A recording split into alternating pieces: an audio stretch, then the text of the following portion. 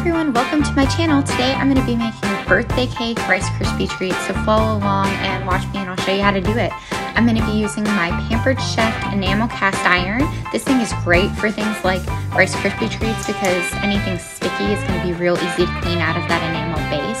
So what I'm going to do first is I'm going to melt about a stick worth of grass-fed butter and we just want to get that good and melted and then what I'm going to do is add the marshmallows.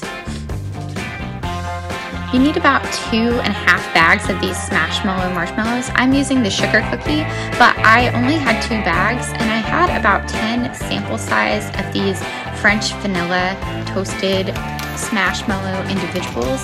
So I just broke up some of those and I put extras in there to kind of make up for the fact that I didn't have enough of the sugar cookie marshmallows.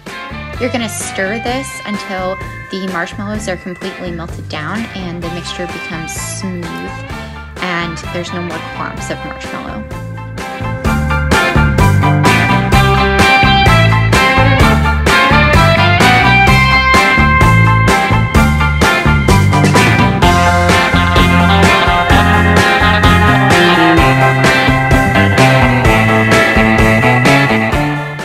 Consistency should look about like this.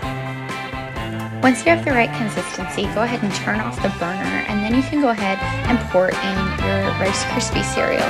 I'm using birthday cake flavored Fruity Pebbles. These were from possibly a couple years ago. Um, they weren't expired yet though. They are the birthday cake flavored Fruity Pebbles. I think they're the 50 year anniversary. I'm just gonna go ahead and stir those in. Make sure you grease your pan want to get the mixture into your pan really quick so that it doesn't harden and set in the bowl that you made it in. And then I'm just going to press this down. Again, don't forget your mix-ins. And voila! I've done different flavors like Cocoa Pebbles and Churro Smashmallows. So if you guys want to see anything like that or have any flavor recommendations, let me know in the comments.